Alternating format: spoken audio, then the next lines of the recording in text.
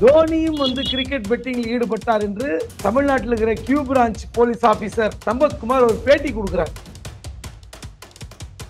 முதல்ல Q branch அதிகாரியாகிற சம்பத்குமாருக்கு கிரிக்கெட் பெட்டிங் விசாரிக்கிற ரைட்ஸே கிடையாது. அவர் கியூ பிரான்ச் என்றால் தமிழ்நாடு காவல்துறையில் என்னன்னு ம- பல மக்களுக்கு தெரியாது. அது வந்து ரகசியமாக இயங்குகிற ஒரு பிரிவு. ஒரு நாள் சிந்தாதிரிப்பேட்டையில வந்து கிரிக்கெட் பெட்டிங்ல ஜெயிச்சவங்களுக்கு பணம் டிஸ்ட்ரிபியூட் பண்றாங்க. அந்த இடத்துல இன்டர்செப்ட் பண்ணி தடுத்து நிறுத்தி பைக்கில் கொண்டு போன பதினஞ்சு லட்சம் ரூபாயை சம்பத்குமார் கிட்ட வேலை செய்த ரெண்டு ஜிஎஸ்டி வாங்குகிறார்கள்.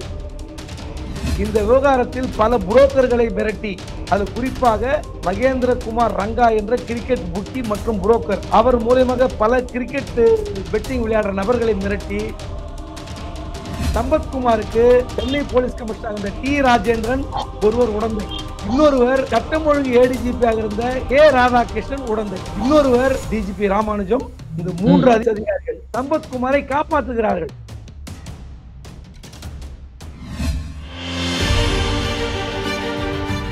பிளாக் அண்ட் ஒயிட் தமிழர்களுக்கு வணக்கம். கிரிக்கெட்ல ஒரு பெரிய ஜாபவான் எம் எஸ் தோனி. இந்தியா முழுவதும் இல்ல உலகம் முழுவதுமே அவருக்கான ரசிகர்கள் இருக்காங்க. அவரு ஒரு காவல்துறை அதிகாரி மேல நூறு கோடி ரூபாய் நஷ்ட ஈடு கேட்டு வழக்கு தொடர்றாரு. இதுதான் சம்பவம். இது பெரிய அதிர்வலையா? என்ன செய்தி? காவல்துறை அதிகாரிக்கு இவருக்கு என்ன பிரச்சனை அப்படிங்கிறது தான் இன்று கிரிக்கெட் மட்டத்திலையும் மற்றும் ஒட்டுமொத்த வாசகர் மட்டத்திலையும் பேசப்பட்டு கொண்டிருக்கு.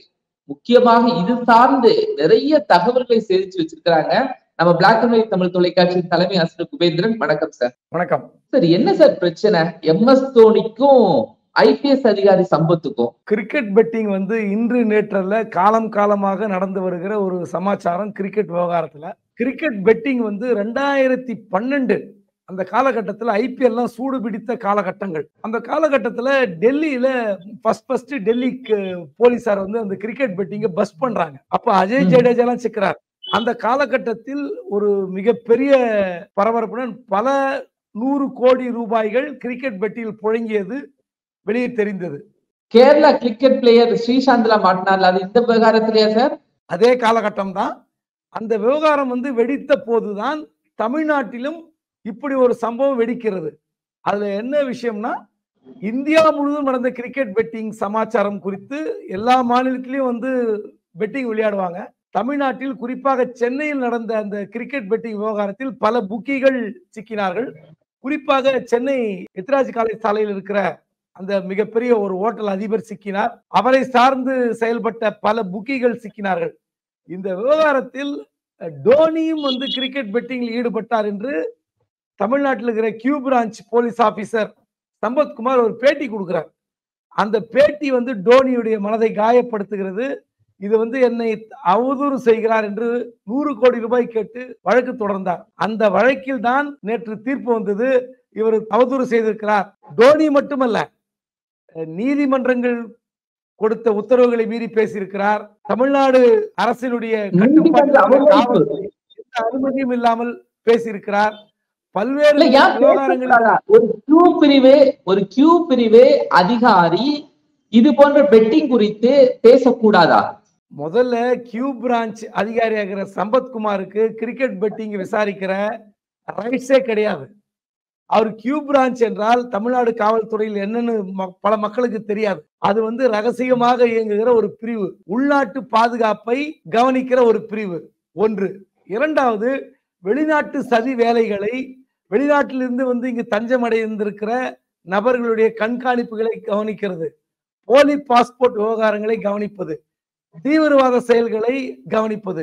இப்படியான விவகாரங்களை சந்திக்கிற விசாரிக்கிற துறைதான் கியூ பிரான்ச் கியூ பிரான்ச்சுக்கு கிரிக்கெட் பெட்டிங் என்ன சம்பந்தம் இருக்கு? அப்ப ஏன் வாய் திறக்கிறாரு? அதுதான் இந்த பத்திரிகைகள் பல டிவி சேனல்கள் எல்லாம் வந்து நேற்று செய்தி வெளியிட்டன இன்றும் செய்தி வெளியிட்டு இருக்கின்றன இதுல என்ன குறைபாடுனா கிரிக்கெட் பெட்டிங் நடக்கும்போது அந்த கியூ பிரான்ச் அதிகாரி சம்பத்குமார் விசாரித்தார். அப்படிங்கிறாங்க. முதல்ல அவர் விசாரிச்சது தப்பு. அவருக்கு ரைட்ஸ் கிடையாது. இந்த விவகாரத்துல என்ன நடந்து நான் சொல்றேன். அது முழுசா பொறுமையா கேளுங்க. அதாவது கியூ பிரான்ச் அதிகாரியாக இருக்கிற சம்பத்குமார் வந்து ஒரு போலி பாஸ்போர்ட் விவகாரத்தில் சிக்கி இருக்கிற ஒரு நபரை சம்பத்குமார் பிடிக்கிறார். அந்த நபர்கிட்ட சில இன்ஃபர்மேஷன் கிடைக்குது. அவர் வந்து ஒரு புக்கியோட கிரிக்கெட் பெட்டிங்ல விளையாடுறாரு. அந்த. கிரிக்கெட் புக்கிங்கும் இவருக்கு இருக்கிற அந்த கான்டாக்ட் டீடைல்ஸ் கிடைக்குது. பார்த்தா இவருக்கு பெரும்பான்மையான தொகை பாத்தீங்கன்னா கிரிக்கெட் பெட்டிங் மூலயமா வருகிறது. இவர் போலி பாஸ்போர்ட்டும் செய்கிறார். ட்ரிப்ளிகன்ல சிக்குகிறார். அந்த நபர்கிட்ட சிக்கிற அந்த கிரிக்கெட் புக்கி நம்பர்லாம் வாங்கி இவர் போன் போட்டு விசாரிக்கிறார். இந்த கிரிக்கெட் பெட்டிங்கை பத்தி விசாரிச்சு தெரிஞ்சு வச்சுக்கிட்டு ஒரு நாள் சிந்தாதிரிப்பேட்டையில வந்து அந்த கிரிக்கெட் பெட்டிங்ல ஜெயிச்சவங்களுக்கு பணம் டிஸ்ட்ரிபியூட் பண்றாங்க அந்த இடத்துல இன்டர்செப்ட் பண்ணி தடுத்து நிறுத்தி பைக்ல கொண்டு போன பதினஞ்சு லட்சம் ரூபாயை சம்பத்குமார் கிட்ட வேலை செய்யற ரெண்டு டிஎஸ்பி வாங்குகிறார்கள் அந்த. பதினஞ்சு லட்சம் ரூபாய் வாங்கி வைத்துக் கொண்ட இந்த கியூ பிரான்ச் எஸ்பி ஆன இருக்கிற சம்பத்குமார் இது சம்பந்தமாக தங்கள் மேலதிகாரிகளுக்கு எதுவுமே சொல்லல. இந்த பதினஞ்சு. லட்சத்தை தனியா வச்சிருக்காங்க. போலி பாஸ்போர்ட் கேஸ் விஷயமா விசாரிக்கிறேன்னு சொல்லி பல கிரிக்கெட் புக்கிகளை பிடித்து கொண்டு வந்து விசாரித்துக் கொண்டிருக்கிறார். இதுல என்னன்னா இந்த பதினஞ்சு லட்சம் ரூபாய் பறி கொடுத்த அந்த நபர்கள் ஒரு முக்கியமான அதிகாரி மூலமாக காவல்துறை தலைவர்கிட்ட போய் சொல்றாங்க. கியூ பிரான்ச்ல சார் உங்க எஸ்பி டிஎஸ்பி எல்லாம் வந்து இந்த மாதிரி பதினஞ்சு லட்ச ரூபாய் பிடிங்கி பறிச்சு வச்சிருக்காங்கன்னு. அப்போ வந்து கூப்பிட்டு விசாரிக்கும் போது இந்த பதினஞ்சு லட்ச ரூபாய் பிடிச்சிங்களான்னு ஆமாங்கிறாங்க. என்னன்னு கேட்டா இல்ல இல்ல அது எல்லாமே போலி பாஸ்போர்ட் சம்பந்தப்பட்ட விவகாரம்ங்கிறாங்க. ஆனால் கிரிக்கெட் பெட்டிங்க்கும் போலி பாஸ்போர்ட்டுக்கும் சம்பந்தம் இல்லை. போலி பாஸ்போர்ட் விவகாரமாக கூட இருக்கட்டும். ஏன் அந்த பணத்தை நீங்க கோர்ட்ல கட்டல? அந்த அந்த கைது செய்ய அந்த நபர்கள் ஏன் கைது செய்யப்படவில்லை? இப்படியெல்லாம் கேட்கும் போது சம்பத்குமார் திரு திரு திருன்னு முழிக்கிறார். முழித்தது மட்டுமல்லாமல் இந்த விவகாரத்தை நானே விசாரிக்கிறேன்னு சொல்லி தனிப்பட்ட முறையில் டிஜிபி அப்போது டிஜிபி ஆகிற ராமானுஜத்துக்கு லெட்டர் எழுதுறார். கிரிக்கெட் பெட்டிங் விசாரணை எங்கிட்ட கொடுங்க.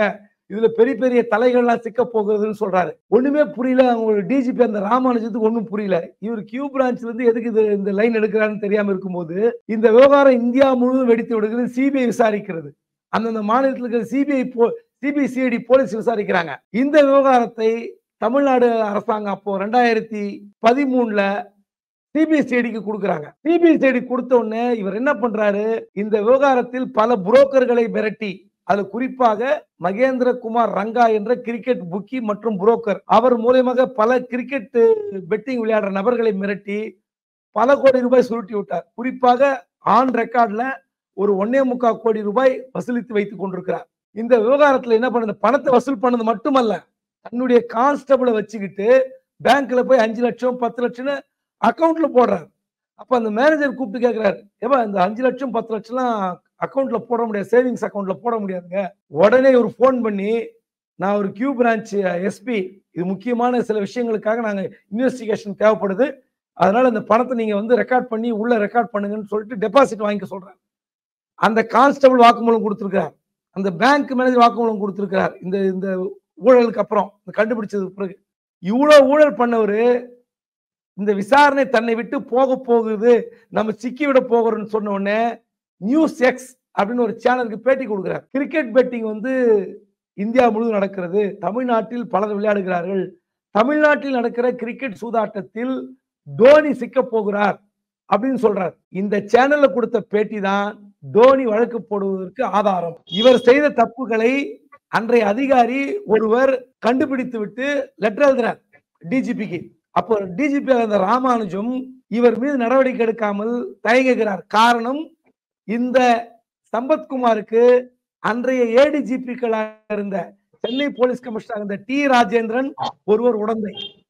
இன்னொருவர் சட்டம் ஒழுங்கு ஏடிஜிபியாக இருந்த கே ராதாகிருஷ்ணன் உடந்தை.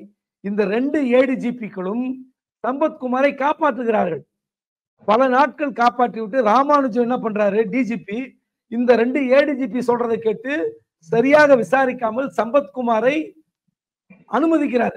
கியூ பிரான்சில் தொடர்வதற்கு. இந்த நியூஸ் எக்ஸ்ல பேட்டி கொடுத்த பிறகு தோனி வந்து பேட்டி கொடுத்த பிறகு வழக்கு போட்ட பிறகும் சிபிசிடி இருக்கிற சில அதிகாரிகள் லஞ்சம் வாங்கி விட்டார்கள் பேட்டி கொடுக்கிறார். அப்போது சிபிசிடி ஏடிஜிபி டிஜிபியாக இருந்தவர் நரேந்திர பால் சிங் ஐபிஎஸ் அவர் வந்து சென்னையில பிரபலமான ஹோட்டல் அதிபர். அவர்கிட்ட வந்து பல கோடி ரூபாய் சுருட்டி விட்டார்னு பேட்டி கொடுக்கிறார். இப்படி எல்லா விவகாரத்திலும் சம்பத்குமார் பேசியது சிக்கல சிக்கல தள்ளிவிட்டது. உடனே அவர் மீது ஒழுங்கு நடவடிக்கை எடுக்க வேண்டிய நிர்பந்தத்துக்கு ராமானுஜம் வந்து விட்டார். இந்த மூன்று அதி ஐபிஎஸ் அதிகாரிகள் DGP Ramanujam ADGP land order K Radhakrishnan Chennai city police commissioner Rajendran. Intention என்ன சார்? தோனிய தோனியுடைய பேரை பயன்படுத்தணுங்கிறதுக்கு உள் இன்டென்ஷன் ஏதாவது இருக்கா? இல்ல இதுக்கு இடையில ஏதாவது லாபிஸ் போயிருக்குமா? ஒரு இன்டென்ஷனும் கிடையாது. அதாவது கிரிக்கெட் பெட்டிங்ல அவர் சொன்னது போல சென்னையில் இருக்கிற இத்ராஜ் காலேஜ் சாலையில் இருக்கிற பிரபலமான ஒரு ஹோட்டல் அதிபர் விக்ரம் அகர்வால் ஈடுபட்டார். விக்ரம் அகர்வால் போல பல தொழிலர்கள் ஈடுபட்டார்கள். இந்த கிரிக்கெட் சொன்னேன் கிரிக்கெட் பெட்டிங் வந்து ஒரு நாள் ரெண்டு நாள்ல பல ஆண்டுகள் நடந்து வருகிறது. எனக்கு தெரிந்து முப்பது ஆண்டுகளாக பத்திரிகை துறையில் பார்க்கிறேன் கிரிக்கெட் பெட்டிங் நடந்து வருகிறது. பல அரசியல்வாதிகள் பல தொழில்கள் இறங்கி ஈடுபடுவார்கள். இதுக்குன்னு பல கிளப்புகள் சென்னையில் இயங்கிக் கொண்டிருக்கின்றன. இந்த விவகாரத்தை இதுல பணம் தருகிற பொன் முட்டை எடுகிற வாத்து என்பதை சம்பத்குமார் உணர்ந்து விட்டார்.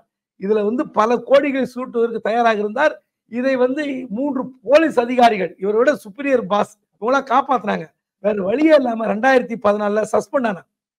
இந்த விவகாரம் தோனி வழக்கு போட்ட பிறகு விவகாரம் வேற மாதிரி வெடித்து விட்டது. அந்த விவகாரத்தில் ரெண்டாயிரத்தி பதினேழுல அந்த விவகாரம் லஞ்சம் வாங்கி கோர்ட்ல போய் பணம் கட்டி அவர் பேங்க்ல டாக்குமெண்ட் எல்லாம் எடுத்த பிறகும் அவர் வந்து ரெண்டாயிரத்தி பதினேழு பதினெட்டுல ரீஇன்ஸ்டேட் பண்ணப்பட்டார். அந்த வழக்கு தான் சென்னை ஹைகோர்ட்ல நடந்து பதினைந்து நாட்கள் சிறை தண்டனை விதிக்கப்பட்டிருக்கிறது. இப்போ அது அப்பீல் கோர்ட்டுக்கு வந்து கால அனுமதி கொடுத்திருக்கிறாங்க. ஆனால் இன்னொரு தோனி இந்த அளவுக்கு வழக்கை தொடருவார் அப்படின்னு சம்பத் நினைச்சிருக்க மாட்டாரா? இல்ல போற போக்குல எல்லாருமே அவதூறை அழித்தளித்தார். உண்மையிலே தோனி சம்பந்தப்பட்டிருந்தால் வழக்கு போட்டிருக்க மாட்டார். ஒருவேளை தோனி ஈடுபட்டதற்கான ஆதாரம் சம்பத்குமார் கிட்ட இருந்தால் அவர் வந்து பொதுவெளியில வெளியிட்டு இருக்கலாமே சம்ப ம். தோனி வந்து இப்படிப்பட்ட ஆட்களை வைத்துக் கொண்டு விளையாடுகிறார். ஆட்டத்தின் போக்கை மாற்றுவதற்கு தோனி இப்படி செயல்பட்டார் என்று ஏதாவது ஆதாரம் வேணும்ல? அதாவது இந்த விவகாரத்தில் நீங்க தீர்ப்பு பார்க்கலாம். இந்திய நீதிமன்றங்கள் சொன்ன எந்த விஷ- உத்தரவையும் இந்த போலீஸ் அதிகாரி பின்பற்றவில்லை. நீதிமன்றங்களையும் அவதூறு செய்திருக்கிறார்.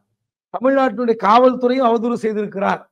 எந்த விஷயத்திலும் வருத்தம் தெரிவிக்கவில்லை என்றார் அதாவது இந்த சம்பத்குமார் விவகாரம் ஒன்றல்ல இரண்டல்ல அவர் குரூப் ஒன் டிஎஸ்பியாக இருக்கிற காலகட்டத்தில் பயிற்சி காலத்திலிருந்து சிக்கலுக்குள் உள்ளானவர்.